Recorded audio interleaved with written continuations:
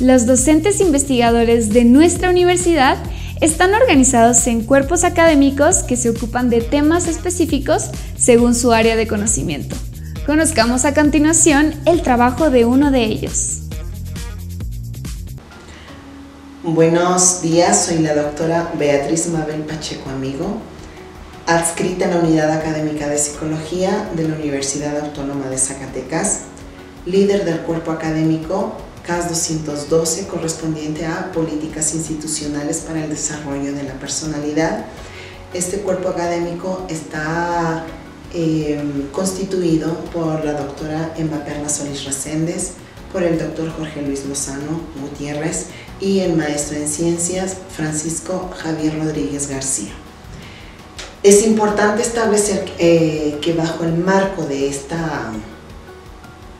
de este cuerpo académico se establecen diversas líneas de investigación. Eh, estas líneas de, investigación están abordadas desde el punto de vista de prevención,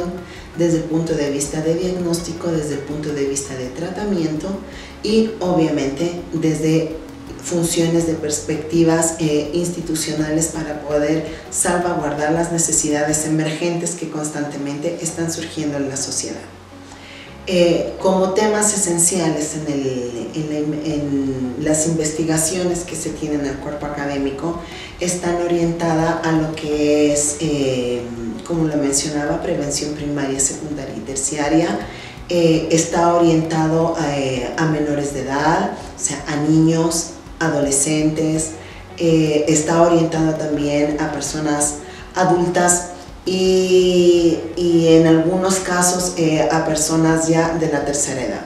¿Esto con qué finalidad? Como el cuerpo académico es eh, políticas institucionales para, la,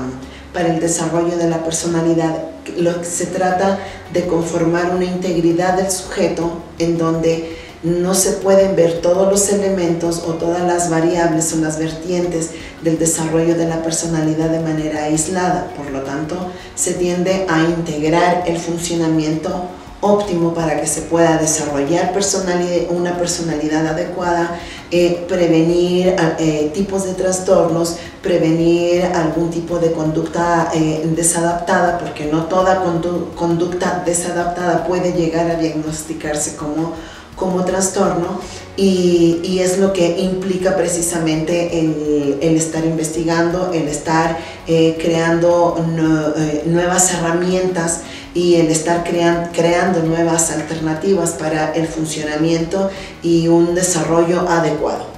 Eh, para cubrir estos objetivos con los integrantes del cuerpo académico tenemos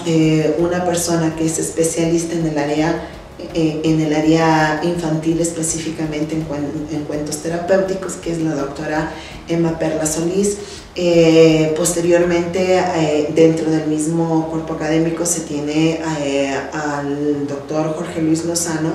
encargado exclusivamente de funciones Em, de desarrollo institucional, sociales por parte del, del, maestro Francisco Javier y su servidora que integra funciones de prevención, inclusive las de ASI, a nivel primario, secundario y terciario.